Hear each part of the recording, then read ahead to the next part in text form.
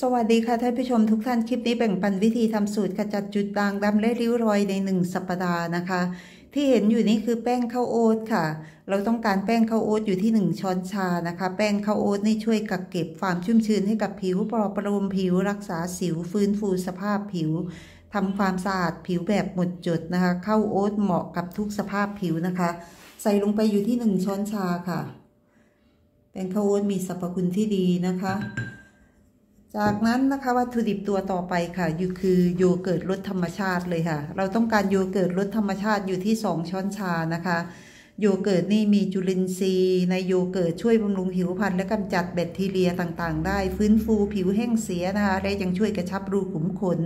ลดการเกิดสิวลดเลือนริ้วรอย เพิ่มความเยาว์วัยด้วย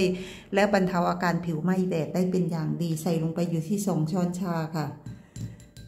สูตรนี้วัตถุดิบหาได้ง่าย ๆนะคะ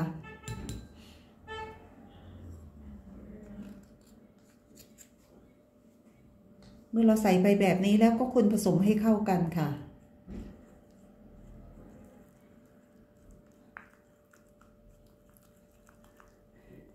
วัตถุดิบทุกตัวมีสรรพคุณที่ดีสำหรับผิวพรรณนะคะ ท่านผู้ชม จากนั้นนะคะ วัตถุดิบตัวต่อไปที่เห็นอยู่นี่คือ น้ำมันของกุหลาบโรดฮิปเลยค่ะโรดฮิปนี่ขึ้นชื่อเรื่องราชินีแห่งความงามเลยนะคะ เราต้องการโรดฮิปอยู่ที่ประมาณ 5-6 หยดค่ะ โรทิปนี่ช่วยกระตุ้นการผลิตคอลลาเจน และความยืดหยุ่นของผิวเพิ่มความชุ่มชื้นให้กับผิวนะคะ อัดแน่นไปด้วยวิตามินซีนะคะทำให้ผิวขาวกระจ่างใส และสีผิวสม่ำเสมอขึ้น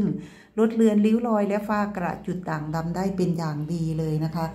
ใส่ลงไปอยู่ที่ประมาณ 5-6 หยดค่ะ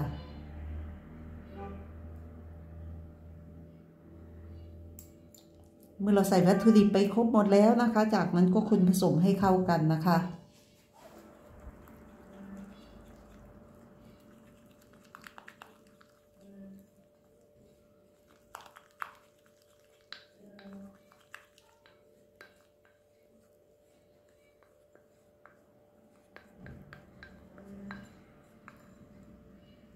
จากนั้นเรามาดูวิธีใช้กันเลยนะคะ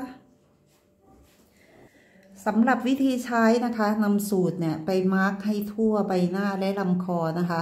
มาส์กไปบนผิวที่สะอาดของเรานะคะ มาส์กไปให้ทั่วค่ะ มาส์กไปหนาๆเลยนะคะ มาส์กทิ้งไว้บนผิวค่ะ มาส์กไปให้ทั่วใบหน้าและลำคอและเนินอกค่ะ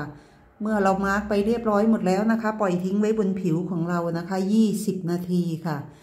20 นาทีแล้วไปล้างทำความสะอาดผิวด้วยน้ำอุ่นตามด้วยน้ำเย็นได้เลยนะคะ สูตรนี้นะคะ อาทิตย์แรกทำทุกวันค่ะ จากนั้นแล้วทำสองถึงสามครั้งต่อสัปดาห์ค่ะเป็นสูตรที่ดีค่ะ สูตรนี้นะคะ ช่วยขจัดจุดด่างดำริ้วรอยนะคะทำให้ผิวนุ่มชุ่มชื้นเป็นอย่างมากเลยลองไปทำใช้กันดูนะคะ สุดท้ายนี้สุขภาพดีและผิวพรรณดีเป็นของท่านผู้ชมค่ะ ขอบคุณที่รับชมนะคะ สวัสดีค่ะ